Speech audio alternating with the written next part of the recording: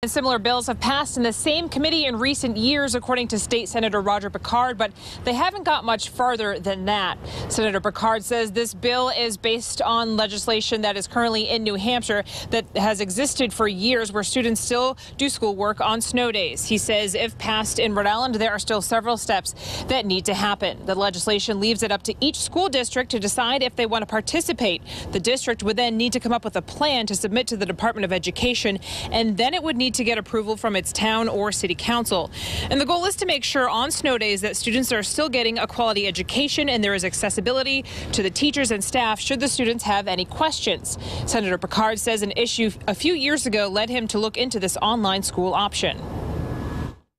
Woonsocket Middle School had some issues with their roof, and they themselves had to shut down that, those two buildings for an extended period of time. I think it was like five days to shovel off the roof and stuff. So that added a lot of um, problems for the kids for know, making up the days towards the end of the school year, and it really extended into late June. And if kids do not have an internet option, Senator Picard says there would be a paperwork alternative. Again, the goal is to get quality education, but to make sure that kids are not going into school late into June. This bill now heads to the full Senate. Reporting live with the mobile newsroom, Kelly Sullivan, Eyewitness News.